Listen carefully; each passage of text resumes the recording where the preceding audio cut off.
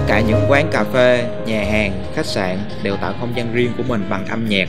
Tuy nhiên, rất khó định vị được vị trí thương hiệu của họ thông qua những gì được bật lên trong quán. Đó là lý do vì sao Sky Soundtrack tồn tại. Đội ngũ biên tập âm nhạc của Sky Soundtrack với nhiều năm kinh nghiệm cùng với sự hỗ trợ của AI giúp chúng tôi thực hiện ra những playlist phù hợp với nhu cầu của khách hàng. Theo các nghiên cứu, âm nhạc có thể làm thay đổi hành vi của người nghe nhạc.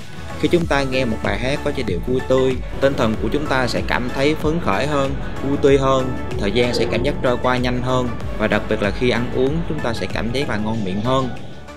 Hay như trong một không gian như thế này thì với những bản nhạc ra được phối khí phù hợp sẽ làm cho không gian trở nên sang trọng hơn và hiện đại hơn. Khách hàng sẽ cảm thấy dịch vụ của mình tương xứng được trả một số tiền lớn hơn. Tất cả những điều này đều được chúng tôi cân nhắc khi thực hiện playlist dành cho khách hàng. Về hệ thống lập lịch thì thực sự rất là dễ sử dụng, khách hàng chỉ cần kéo thả là đã có thể áp dụng các thiết bị trên cả hệ thống.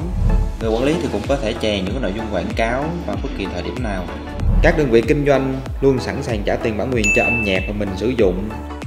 À, sau đó họ cần sự minh bạch trả tiền với mức giá hợp lý và trên lưu lượng sử dụng đó.